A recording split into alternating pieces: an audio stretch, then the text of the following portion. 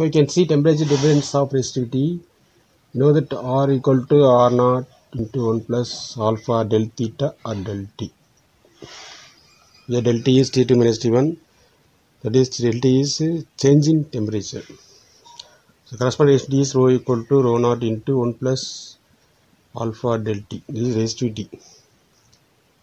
R naught is the resistivity at 0 degree Celsius. Here R naught is resistivity at 0 degree Celsius. R is resist- resistance at T degree Celsius at a particular temperature.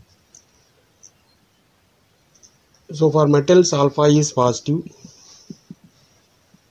Alpha is positive for metals, that is conductors. Alpha is negative for non-metals. We can see the graph for respective metals, non-metals, and that is such as semiconductors and superconductors also. So take resistivity along y-axis and temperature along x-axis.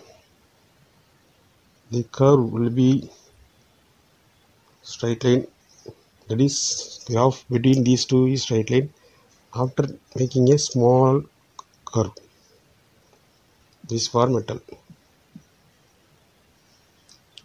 And for indicates this straight line yes this portion for this portion res- resistivity is directly opposed to temperature. If temperature increases resistivity increases for this straight line portion. And for semiconductors rho is along y axis and temperature along x axis curve is like this. So initially at low temperatures resist- uh, resistivity of the semiconductor is high but if temperature increases semiconductor decreases. With it increasing temperature. And for superconductors at a particular temperature that is called as critical temperature